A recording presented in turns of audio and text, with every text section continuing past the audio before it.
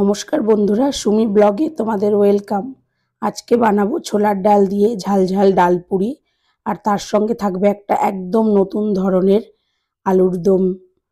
তো প্রথমে ছোলার ডালটা দু ঘণ্টা ভিজিয়ে রেখে ধুয়ে প্রেশার কুকারের মধ্যে দিয়ে দেব, আর খুব সামান্য জল দেব। দিয়ে গ্যাসের ফ্লেমটাকে বেশ বড় করে দুটো সিটি দিয়ে নামিয়ে নেব, যাতে এটা খুব বেশি সেদ্ধ না হয়ে যায়, একটু শক্ত শক্ত থাকে। আর ঠান্ডা লেগেছে বলে আমার গলার গলার ভয়েসটা একদম অন্যরকম হয়ে গেছে। ডালটা দুটো সিটি দিয়েই নামিয়ে নেব, একদম বেশি দেরি করব না, যাতে এটা একদম শক্ত শক্ত থাকে। তো এটাকে জলটাকে বেশ ভালো করে প্রথমে আমরা ঝরিয়ে নেব ঝুড়িতে। জল ঝরানো হয়ে গেলেই শিল নোড়াতে খুব সুন্দর করে ডালগুলোকে বেটে নিতে হবে। ডালগুলো বাটতে বেশি সময় লাগবে না, খুব তাড়াতাড়ি হয়ে যাবে। তিন চার মিনিটের মধ্যেই ডাল বাটা কমপ্লিট হয়ে যাবে। ডালগুলোকে আমি বেশ ভালো করে বেটে নিয়েছি। আর আমি যে এর সঙ্গে যে আলুর দমটা বানাবো সেটা কিন্তু দুর্দান্ত স্বাদ। তোমরা অবশ্যই একবার এইভাবে ঝাল ঝাল ডাল পুরি আর আলুর দম ট্রাই করো, কারণ এখন শীতের রাত্রে এগুলো খুব ভালো লাগে খেতে। আমি এটা রাত্রেবেলা ডিনারে বানিয়েছিলাম। ডালগুলো দেখো আমার বাটা হয়ে গেছে। এবার কড়াইয়ে দিয়ে দেবো সর্ষের তেল, আর এর মধ্যে আমি দিয়ে দেবো হিং। হিং ফোড়ন দেওয়ার পর দিয়ে দেবো আদা আর দুটো থেকে তিনটে রসুনের দানার একটা কাঁচা লঙ্কাকে বেটে নিয়েছিলাম। সেটা তেলের ওপরে দিয়ে দেব। দিয়ে একটু ভেজে নেব এটাকে এক থেকে দেড় মিনিট জিরের গুঁড়ো দিয়ে। স্বাদ মতো লবণ আর হলুদ দেব আর একটু মিষ্টি দেব। দিয়ে এটাকে এক থেকে দেড় মিনিট খুব ভালো করে ভেজে নেব। ভাজা হয়ে গেলেই আমরা যে বেটে রাখা ডালটা সেটা দিয়ে দেব। ডালটা দেওয়ার পর আরও দুই থেকে তিন মিনিট খুব ভালো করে এটাকে মিশিয়ে নেব। ডালটা দেখতে এরকম মনে হলেও কিন্তু ঠান্ডা হলে এটা বেশ ঝরঝরে হয়ে যাবে একদম। দুই থেকে তিন মিনিট খুব ভালো করে মিশিয়ে নিয়েছি, এবার আমরা এটাকে আলাদা পাত্রে নামিয়ে রেখে দেব। তো ডাল ডাল ঠিক করা হয়ে গেছে, আমাদের ডালটা রেডি হয়ে গেছে। এবার আমরা ময়দা মাখবো, এখানে নিয়েছি এক বাটি ময়দা আর এক বাটি আটা। মিশিয়ে নিয়েছি, ভালো করে মিশিয়ে নেব। তারপরে যেভাবে আমরা লুচির ময়দা, ময়ম দিই সেভাবেই দেব সাদা তেল, একটু লবণ আর একটু চিনি দিয়ে ভালো করে মাখিয়ে নিয়ে। এখানে আমি ময়দাটা মেখেছি গরম জল দিয়ে, উষ্ণ গরম জল দিয়ে। উষ্ণ গরম জল দিয়ে মাখলে কি হয়? ডোটা বেশ নরম আর সফট তুলতুলে হয়। খুব ভালো করে ময়দাটাকে মাখবো। অল্প অল্প গরম জল দেব আর মাখবো। মাখা, ময়দা মাখার পর আমি এটাকে পাঁচ থেকে সাত মিনিট একটু রেস্টে দিয়ে রাখব। যাতে আমাদের ডাল ডালপুরিটা বেশ নরম, তুলতুলে হয়। আর লেচি কেটেছি আমি একটু বড় বড় করে, কারণ এর মধ্যে ডাল দেবো, তারপরে আবার বেলবো যাতে ফেটে না যায়। সেই জন্য একটু বড় সাইজের লেচি কেটেছি। লেচি কাটা হয়ে গেলেই আমরা এভাবে বাটির মতো করে নেব। আর অল্প অল্প করে ডাল দিয়ে দেব। ডাল দিয়ে মুখটাকে বেশ ভালো করে বন্ধ করে দেব। এই ধরনের খাবার খেতে কিন্তু আমাদের সবার খুব ভালো লাগে।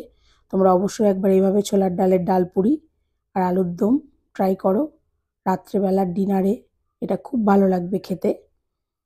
আর আমার বাড়িতে আমার বর, আমার মেয়ে খুব ভালো খেতে ভালো, খুব খেতে ভালোবাসে এই ধরনের খাবার। তো এইভাবে আমি এগুলোকে প্রত্যেকটাকে বানিয়ে নেব খুব সুন্দর করে। বানানো হয়ে গেলে আমরা হালকা তেল দিয়ে দিয়ে এটাকে বেলবো লুচির মতো।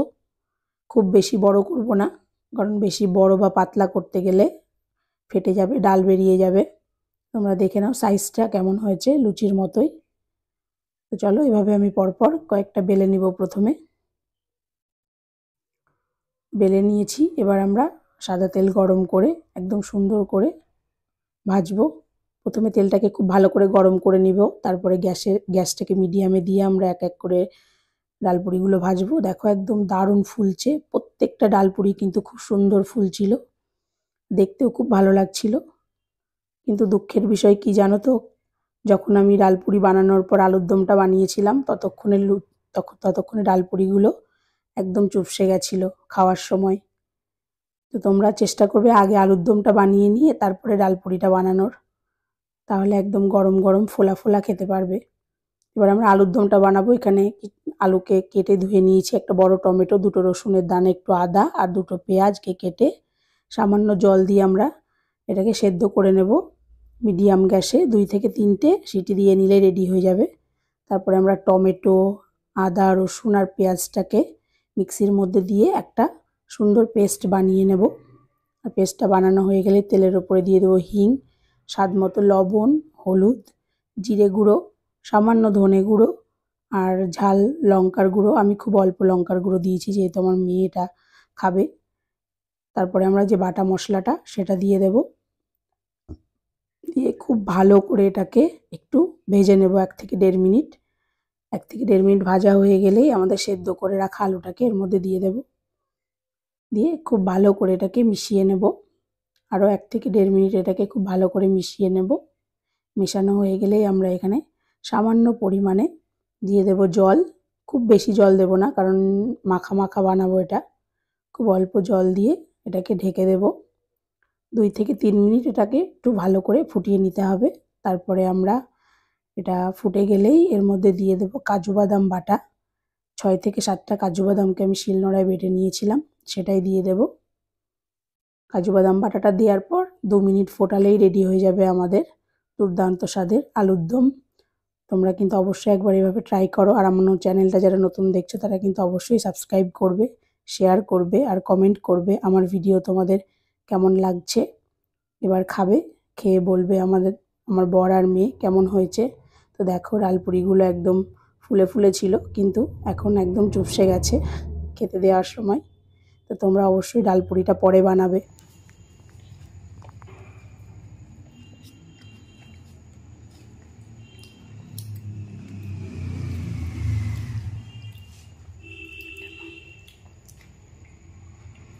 ডালপুরি আর আলুর দমটা সত্যিই খুব সুন্দর হয়েছে। আলুর দমের টেস্টটা একটু অন্যরকম হয়েছে।